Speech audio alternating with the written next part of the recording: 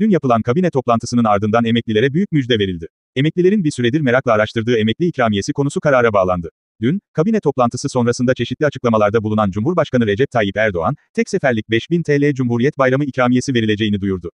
Bu kapsamda dul ve yetim maaşı alanlar kaç TL ikramiye alacaklarını merak etti. Ayrıca, 5000 TL Cumhuriyet Bayramı ikramiyesinin ne zaman yatacağı da bir başka merak konusu oldu. Peki, 5000 TL emekli ikramiyesi ne zaman yatacak? Dul ve yetim aylığı alanlara kaç TL emekli ikramiyesi verilecek? Kimler 5000 TL emekli ikramiyesi alabilecek? Milyonlarca emekliyi mutlu edecek haber, dün kabine toplantısı sonrasında geldi. Cumhurbaşkanı Recep Tayyip Erdoğan, kabine sonrasında emeklilere tek seferlik 5000 TL ikramiye verileceğini kaydetti. Ancak ikramiyeden sadece çalışmayan emeklilerin faydalanabileceği vurgulandı. Yani çalışan emekliler herhangi bir ikramiye alamayacaklar. Bu nedenle de ikramiye ödemesinin toplamda 12.2 milyon emekliye ödeneceği anlaşıldı.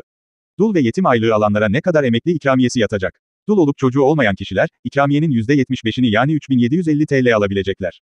Dul olup, çocuğu da olan vatandaşlar ikramiyenin %50'sini yani 2500 TL alabilecekler. Yetimler ise ikramiyenin %25'i kadarını, yani 1250 TL ödeme alabilecekler. 5000 TL emekli ikramiyesi ne zaman hesaplara yatacak? Çalışmayan emekliler için tek seferlik verilecek olan 5000 TL emekli ikramiyesi, önümüzdeki ayda, yani Kasım ayında yatırılmaya başlayacak. Net bir gün verilmemekle birlikte ödemelerin, TC kimlik numarasının son hanesine göre yapılması bekleniyor.